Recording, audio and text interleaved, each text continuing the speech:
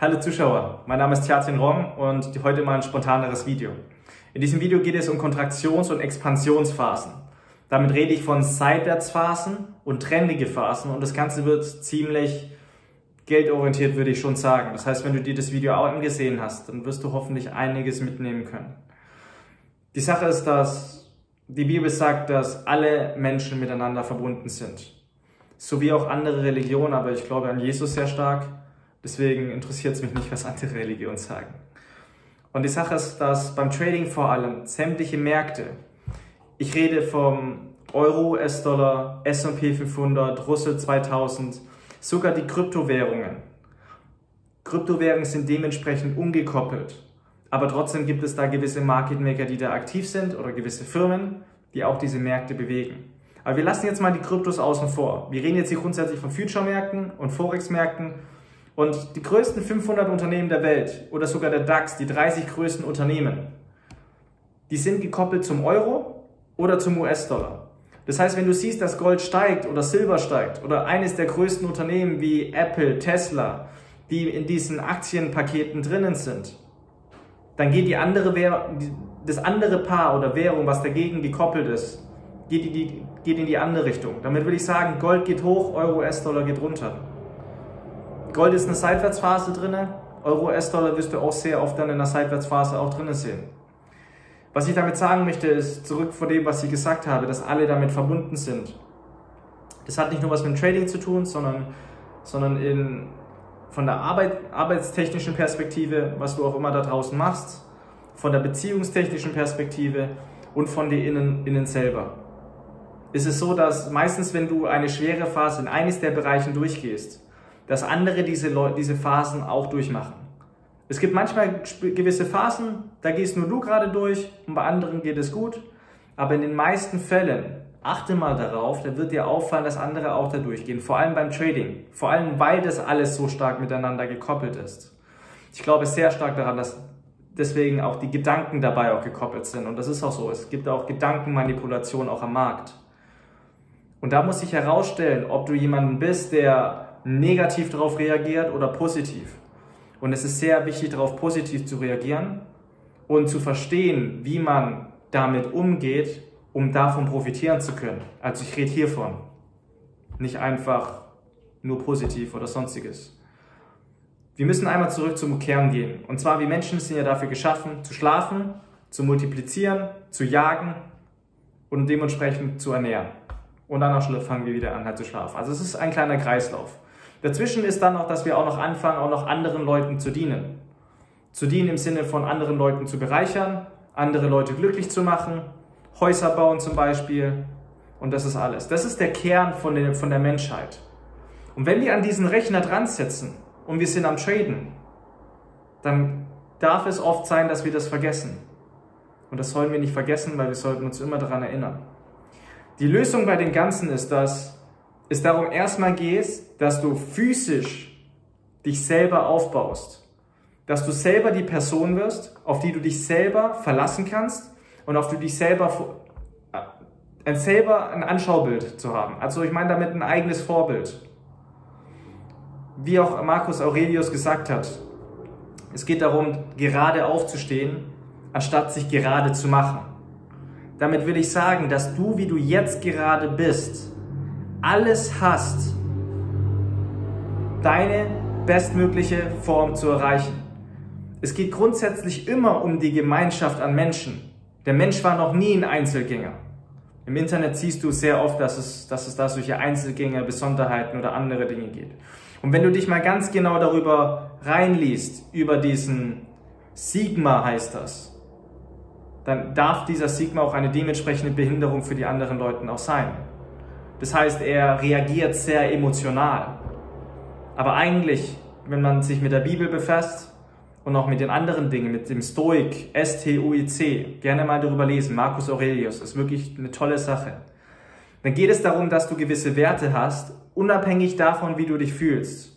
Das ist genauso mit dem Trading. Wenn man mit dem Trading Geld verdienen möchte oder wenn man physisch besser sein möchte, dann muss man auch dementsprechend sich an den Rechner setzen oder ins Fitnessstudio gehen ans, oder die, diese dementsprechende sportliche Aktivität machen. Und nur weil man sich schwach fühlt oder weil man jetzt gerade fühlt, dass jetzt gerade diese Kontraktionsphase da ist, dass man jetzt heute kein Geld verdient. Es ist nur ein Gedanke. Du musst es selber sehen. Man muss es selber sehen, man muss einen, diese, diese Schritt-für-Schritt-Anleitung haben. Bei mir ist eine Regel, auch wenn es eine Kontraktionsphase geht, trotzdem ab und zu mal einen Trade machen. Weil manchmal, da siehst du, dass es da diese Kontraktionsphase gibt. Dazu gibt es hier ein Video auf dem Kanal. Und auf einmal kommen 4.000, 5.000 Dollar raus mit einem Trade, weil man dann einfach sieht, auf einmal schießt er doch in die Richtung. Weil man dann trotzdem gesehen hat, dass, dass es trotzdem eine einfache Zeit war. Manchmal, da fühle ich mich selber schwach, als ob ich, ich habe damals zum Beispiel beim Brustdrücken bei, im Fitnessstudio, ich habe damals mit 5 Kilo, 10 Kilo angefangen, habe ich kaum geschafft. Jetzt schaffe ich 65, 70 Kilo mit der Brust. Und ich habe Tage, da denke ich auch, schaffe ich nicht. Weil ich immer noch im Kopf habe manchmal, dass ich nur noch 15 oder 30 Kilo schaffe. Oder beim Traden, dass ich nur noch, ja, immer noch bei drei Kontrakte bin oder zwei. Aber trotzdem hat es dann geklappt, in der Seitwärtsphase sieben Kontrakte ziemlich gut reinzuknallen. Ich will damit einfach sagen, dass es unabhängig davon, wie du dich fühlst, dass es wichtig ist, dass man es trotzdem macht. Und das kommt von der inneren Energie. Das heißt, Schritt Nummer eins ist es, dass du dich physisch dementsprechend aufbaust, weil du Energie dir selber geben musst. Und wenn du noch nie dich richtig ernährt hast oder dementsprechend für deine Gesundheit gesorgt hast und diese Energie nicht hast, dann wird es hier auch nichts richtig langfristig.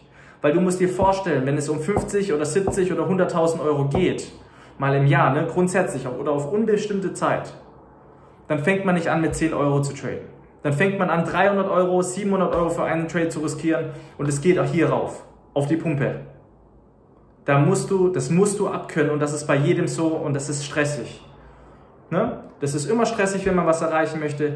Der Mensch hat diesen Trieb und er braucht immer ein Ziel. Deswegen, wenn es jetzt heißt, ja, es geht hier nicht ums Geld oder sonstiges, doch, das tut es. Also es ist wichtig, man hat ja die Familie. Man will ja natürlich zu der Familie sagen, ja, Sohnemann, wir, ich kann dir das Spielzeug kaufen, ja, Sohnemann oder, oder die Frau, wir wollen in den Urlaub gehen, wir können ins nächste Haus einziehen. Oder dementsprechend, was auch immer das Ziel ist. Diese Sache Ja sagen zu können. Man, man braucht diese Ziele. So, nachdem man, nachdem man diese physische Aktivität mit sich aufgebaut hat, man kann auch währenddessen auch das mit dem Trading auch noch sich aneignen. Deswegen finde ich es so wichtig, in einem Demokonto zu sein. Ich habe festgestellt, Leuten, denen ich das beigebracht habe, dass sie mir weggebrochen sind, weil sie nicht diese Energie hatten. Und deshalb ist wichtig, dass einem das bewusst ist. Das andere ist dann, es gibt etwas, und zwar, darum geht es darum, dass nachdem du dich selber aufgebaut hast, Du wirst sehr viele arrogante Trader finden. Die werden die ganze Zeit sagen, und ich war auch auf diesem Niveau. Dann habe ich auch gesagt, ach guck mal den Kerl da an. Das ist eine Seitwärtsphase, wieso tradet der da? Ich habe es ihm doch gesagt, der soll doch nicht traden. Ich habe ihm doch gesagt, der, der soll sein Chance-Risiko-Verhältnis bei 1 zu 3, 1 zu 5 machen, weil es mathematisch sonst nicht aufgeht. Ich habe ihm doch gesagt, ne, ab minus 20.000 Euro wird man dementsprechend ziemlich zerfetzt hier in, in, der deutschen, in der deutschen Sache bezüglich Steuern. Und deswegen ist ziemlich wichtig, 1 zu 5 zu haben, 15 Trades, 30-prozentige Trefferquote, das heißt auf 15 Trades 100 Euro Risiko sind 1500 Euro. Und die hat man dann verdoppelt, indem man diese 30-prozentige Trefferquote hat. Aber eine 30-prozentige Trefferquote ist minderwertig. Also wenn du eine 50-prozentig 60, 70er hast, dann machst du mit 1500 Trades, 15 Trades, machst du 3.000, 4.000 Euro. Aber unabhängig davon, keine Anlageberatung, ist mir auch ganz wichtig. Das ist Fakt, das sind Statistiken, die zeige ich auch über das andere Video. Es geht grundsätzlich darum, dass auch Menschen dazu geschafft sind, eine Gemeinschaft zu haben. Und wenn du dich fühlst, dass du Respekt haben möchtest, dann fang an, andere Leute zu respektieren. Wenn du dich fühlst, dass du, dass du gehasst wirst und Liebe brauchst, fang an, Liebe rauszugeben. Genau deswegen gibt es eine dementsprechende Gemeinschaft. Wenn du sagst, du hast eine schwere Zeit in der Seitwärtsphase und da geht es ins Trading, dann ist es auch wichtig, dass du dich auch damit mit Leuten zusammenfasst, dass du darüber auch sprichst. Fang an, über deine Probleme zu sprechen, weil ich sehe so viele Trader im amerikanischen Raum, auch dementsprechend auch im deutschen Raum, die ich ab und zu auch treffe, die haben, die sind da oben von sich selber. Aber die nächste Etage und sehr negativ sogar, weil sie einfach nicht verstehen, dass oder nicht sagen können wie, ach, weißt du was, die Person da, die ist sehr unwissend und ich war auch damals auf diesem Stand. Und dadurch, dass ich dieser Person helfen konnte, dadurch, dass ich meine Probleme dieser Person mitteilen konnte, konnte ich deren Probleme lösen und meine, meine eigenen auch. Das nennt sich auch Karma. Alles, was du rausgibst, alles, was du anziehst über YouTube, Instagram oder TikTok, alles, was hier reingeht und rausgeht, kommt wieder zurück. Und dementsprechend alles, was auch hier reingeht über YouTube, Instagram und so weiter, dementsprechend, das wirst du auch dementsprechend, da wirst du auch ein dementsprechendes Resultat haben. Deswegen sage ich auch gerade über diese neueren Videos, wie, wie gerade erwähnt, wenn man gerne physisch besser sein möchte, muss man auch dementsprechend einplanen, dass man Workout macht.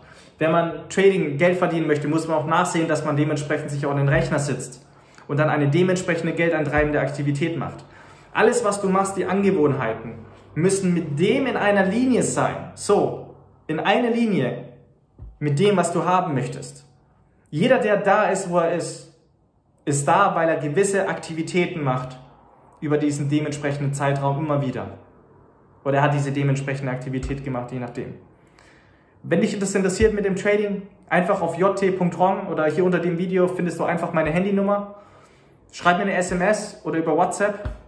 Ich schaue gerne nach vorne, dir nach vorne zu helfen und ja, wie schon gesagt, diese Gemeinschaft ist ziemlich wichtig und eine Schritt-für-Schritt-Anleitung zu haben. Es ist nicht genug, einfach zu sagen, ich habe jetzt hier ein paar Bücher und jetzt fange ich an zu traden. Das funktioniert nicht. Du musst die Prinzipien vom Trading verstehen. Chance-Risiko-Verhältnis, Quantität und Trefferquote. Und dann musst du verstehen, wie das Ganze funktioniert. Du kannst nicht einfach, du kannst nicht einfach lostraden und denken, dass es profitabel funktioniert. Das Ganze darf ein Genickbruch werden. Es gibt sehr viele kostenlose, gute Informationen über den Kanal. Ich gebe mein Bestes hier, dass du darüber schon ziemlich gut Erfahrung sammeln kannst.